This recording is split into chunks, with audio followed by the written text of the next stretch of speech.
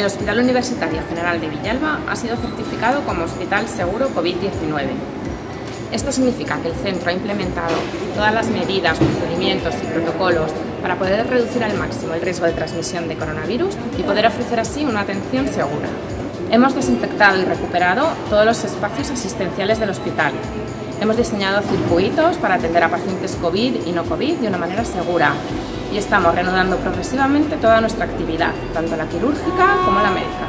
Para ello necesitamos que venga siempre al hospital con mascarilla y sin guantes, que realice frecuentemente higiene de manos, intente mantener la distancia de seguridad con el resto de los pacientes, utilice los circuitos diseñados tanto en los ascensores como en las escaleras para moverse con el hospital y realice el menor número de movimientos posibles.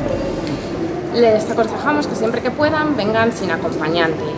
Ajuste todo lo posible la llegada al hospital para no tener que estar en el centro más tiempo del necesario.